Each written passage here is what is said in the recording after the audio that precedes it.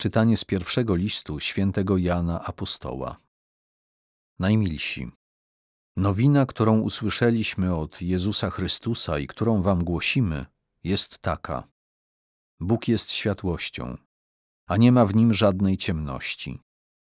Jeżeli mówimy, że mamy z nim współuczestnictwo, a chodzimy w ciemności, kłamiemy i nie postępujemy zgodnie z prawdą.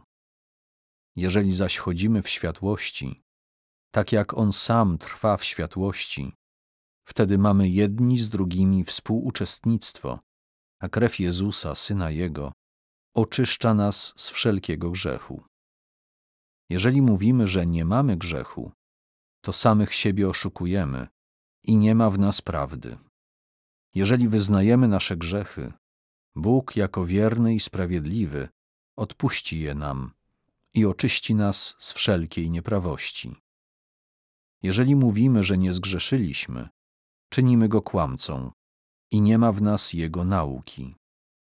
Dzieci moje, piszę wam to dlatego, żebyście nie grzeszyli. Jeśli by nawet ktoś zgrzeszył, mamy rzecznika wobec Ojca, Jezusa Chrystusa Sprawiedliwego. On bowiem jest ofiarą przebłagalną za nasze grzechy i nie tylko za nasze, lecz również za grzechy całego świata.